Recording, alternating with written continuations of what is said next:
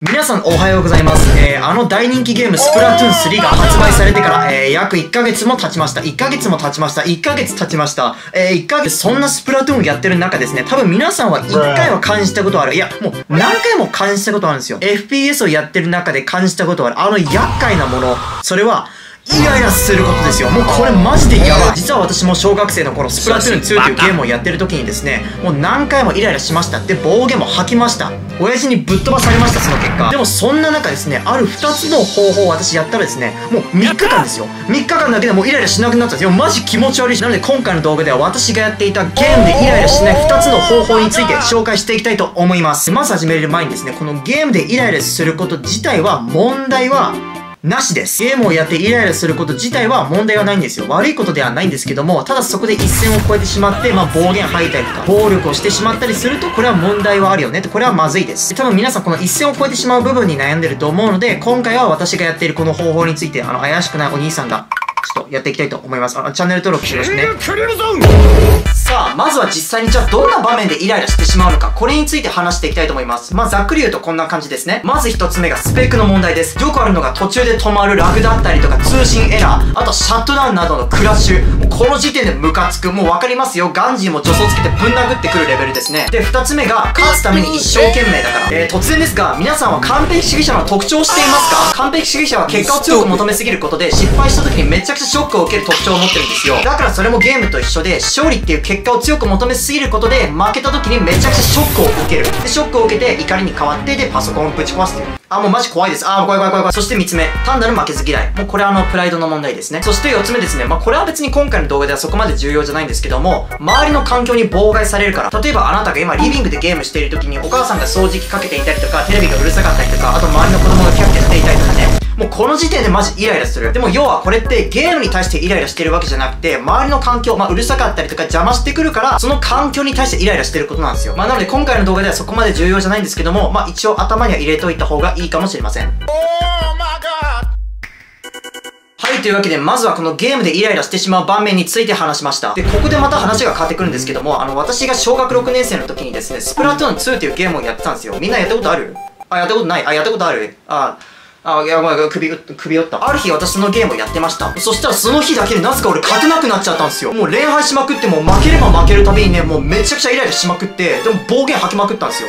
で、あの、親父にぶっ飛ばされたんですよ。えー、しかし、それとは別の日でですね、今度は私、平常心でゲームやってたんですよ。で、まあ、その時はイライラしなかったんですよ。あの、楽しく平常心でゲームやってたんですけども、その日だけはなぜか逆に調子が良くて、連勝しまくったんですよ。で、この時ですね、私気づいたんですよ。イライラしてゲームするのと、平常心でゲームするこの違いについて私が分かったのが、イライラするとゲームに負けやすいってことなんですよ。で、今回はその、イライラするとゲームに負けやすいってことに関して、ちょっと次お話ししたいと思います。えー、まずですね、じゃあなんでイライラするとゲームに負けやすいかなんですけども、私たち人間はイライラすると視野が狭くなってですね、IQ がどんどん低下するんですよ。で、そうなるとゲームしてる時にその怒りっていう感情に支配されるわけですから、そうなるとゲームに集中できなくなって、怒りに集中してしまうんですよ。で、もちろん IQ が低下するわけですから、つまりもうどうすればいいかわからない。このパニック状態になってしまい、もう負の道に進んでしまうんですよ。もうどうすればいいかわからないから。はい、こうやってですね、負の道に進んでしまってやられるじゃないですか。で、そこでまたイライラして、また IQ が低下して、どうすればいいかわからなくなって、負の道に進んでしまってやられるみたいな感じで、もうあの循環が生まれる。もうひどいでしょ。もうマジ勘弁してくれよ。いや、いうかそもそもの話ですよ。みんなゲームするとき楽しくゲームするのとイライラしてゲームするの。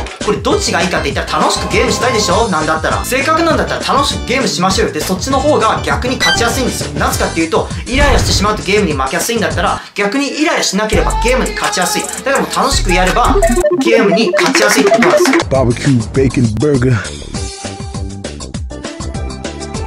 $19 Fortnite card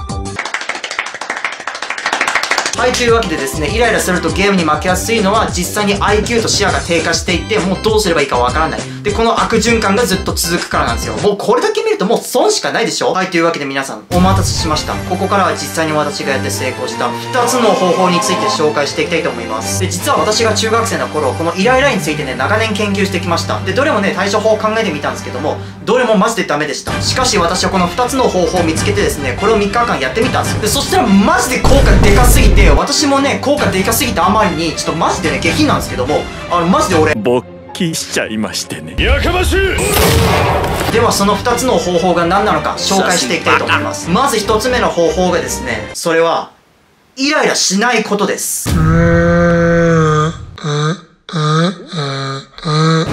いや、マジでふざけてるようには見えるけど、よく考えてみ。さっき私ですね、イライラすればゲームに負けやすいってことについて話したじゃないですか。で、イライラすればゲームに負けやすいんだったら、そもそもですよ、イライラしなければいいんですよ。いや、てかそもそもみんなさ、イライラするためにゲームしてるわけじゃないでしょって言ったら、楽しむためにゲームしてるわけなんだからさ、そもそも、あ、イライラしてえなって、じゃあゲームするかってならないでしょ、そもそも。逆に平常心で楽しんでゲームすれば、勝つ可能性が高いってことです。つまり逆をやれって言いたいんですよ。勝つためにイライラしない。この強い思い込みでやってみてください。で、もし万が一負けた時は、もうその負けを無視してください。だってもう負け嫌いなんでしょって。もう負けはどうでもいいですよ。でも俺いつも A ボタン連打して、あはいはいはい、次の試合、次の試合、はいはいはいやってるので、皆さんもやってみてください。そして、二つ目の方法。まこれはですね、あのゲームだけじゃなくて、仕事だったりとか、学校だったりとか、いろんなそういうストレスだったりとかにも使えます。そう、この二つ目の方法がですね、睡眠をしっかりとることです。実は私たち人間は睡眠不足になるとストレスを感じやすいんですよ。でそれはこの心と脳みそが疲れている証拠なんですよ。だから俺は言いたい。疲れてる心にストレスを与えるなえじゃあどうすればいいんだよ。そんなストレスをよしよしよしよしでできるわけないじゃん。お前チョコラータじゃねえんだからお前消えろブスみたいな。ああ俺ブスででそのために睡眠があるんですよ。しっかり睡眠をとって心と脳を休ませてあげれば今までの疲れだったりとかそういうストレスが全部ぶっ飛ぶわけなんですよ。もうぶっ飛ぶ。お前も消えろはい死ね。あ違う違う死ねは言っちゃいけない。で私はいつも夜の 11時には寝て朝の7時とか8時に起きるっていう予定でいるんですよね。だから最低でも8時間か9時間は取った方がいいです。でそのためには早寝早起きも必要ですよってことですよつまりなので私は8時間の睡眠と早寝早起きをお勧めしますはい、というわけで、これが実際に私がやって成功した2つの方法です。いや、あの、わかりますよ、言ってることは。あの、俺だって寝ようとしてるけど眠れないんだって、そう簡単に熟睡できないって、うん気持ちはすごいわかります。それに関しては、次回お話ししたいと思うので、ぜひ、えーそこを待ってください。なんで俺いつも偉そうなのかわかんない。はい、というわけで今回の動画はこれで以上となります。えー、良ければチャンネル登録とチャンネル登録の方よろしくお願いします。えー10月がスタートし始めて、まあ、少し涼しくなって、で、天気がいい時は私はいつもね、あの、早く起きて散歩したりすると、マジで天国に行ったような気分になるので、皆さんもよかったら真似してみてください。飛ぶぞ。あ、実際に天国には飛ぶなよ。マジで、あの、危ないから、マジで本当に帰ってこい。こっちに帰ってこいというわけで次回もまたお会いしましょう。それでは、さようなら。あ、ちょっと、パ